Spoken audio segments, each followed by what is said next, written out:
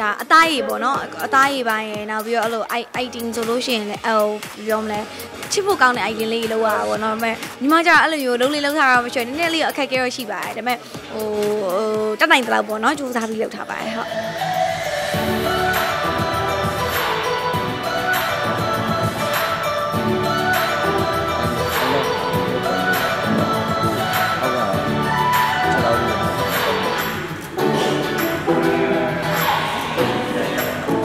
လိုပါပေါ့ပါပါပဲလေသူကဟိုဟိုဘယ်လိုခေါ်မလဲပေါင်းတင်တဲ့ max ပဲပုံစံမျိုးဆိုတော့တိတ်တော့ဘာမှတော့ heavy တော့မရှိပါဘူးပေါ့ပါ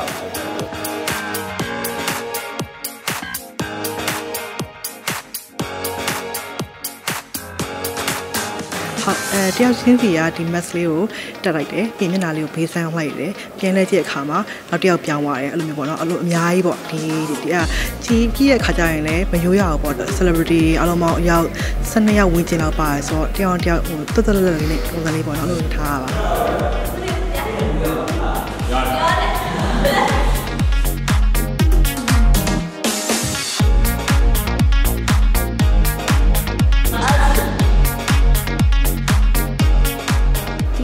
ပေါ့ပေါ့ပါလေးပါပဲပြီးတော့ဟိုတငယ်ချင်းတွေလည်းအများကြီးပါတယ်ဆိုတော့ပြီးတော့အပေါ်တစ်ပိုင်းလေးနဲ့တော့ mask လေးပဲအုပ်တာဆိုတော့တကယ်လေးပေါ့ပေါ့ပါလေးရိုက်တဲ့လူကလည်း character ကလည်းဟို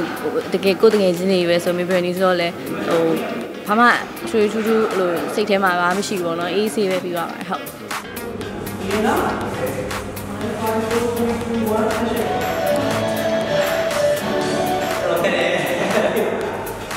ကြော်ညာတော့ရိုက်ပြီးရဒါပေမဲ့ဒီလိုဟို cosmetic နဲ့ပတ်သက်တော့တခါမှမရိုက်ဘူးဒါပထမဆုံးပဲဟုတ်အဲ့လိုလုခံလာရတယ်အဲ